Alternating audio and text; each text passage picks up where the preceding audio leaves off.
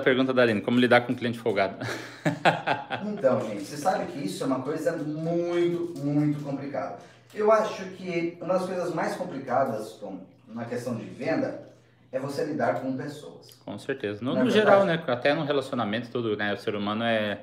Cada pessoa, cabeça é uma sentença, como diz o ditado, né? Exatamente. Então, assim, gente, como lidar com um cliente folgado?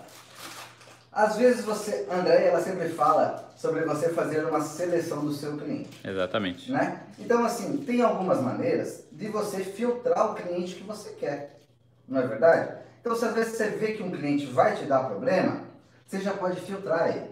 Claro, você não pode ser desonesto, né? E nem mal educado também. Nem mal educado. Mas, por exemplo, você vê que aquele cliente vai te dar dor de cabeça.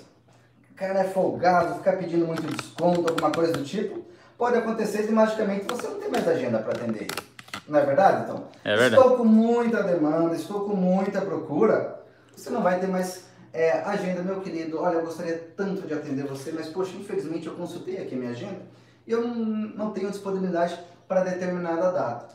Não é verdade? E outra coisa, gente.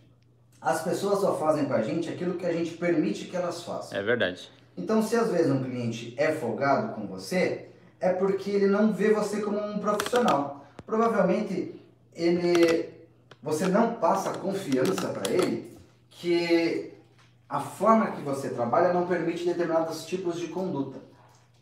Por exemplo, você já viu, é porque folgado é muito amplo, né? Sim. Mas é, você não vai numa loja no shopping, aquela loja que uma peça de camisa custa 500 reais, e vai ser meio folgado lá ou a probabilidade é um pouco menor, porque você sabe que aqueles profissionais e aquele ambiente que você está conversando não permite esse tipo de conduta.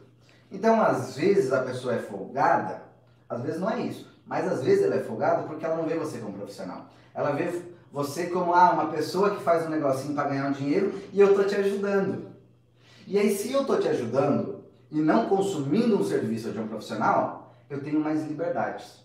Não é verdade, então? Sim, com certeza. Então, se eu só estou te ajudando, ah, eu vou comprar isso lá para ajudar ela, porque ela está começando.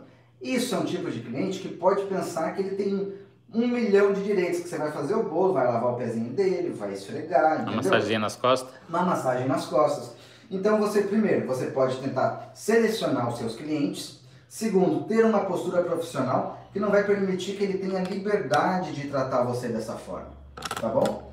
Essa é uma sugestão. Claro que tem gente que é ruim por natureza, é folgado mesmo, e aí não tem muito o que fazer. Aí é só tentar se livrar mesmo. Isso. Mas às vezes pode ser um indicativo de que você não está conseguindo transmitir a imagem que você deveria. É verdade. E claro, se for esse o caso, não se preocupe, tudo dá pra gente melhorar com o tempo. Sim.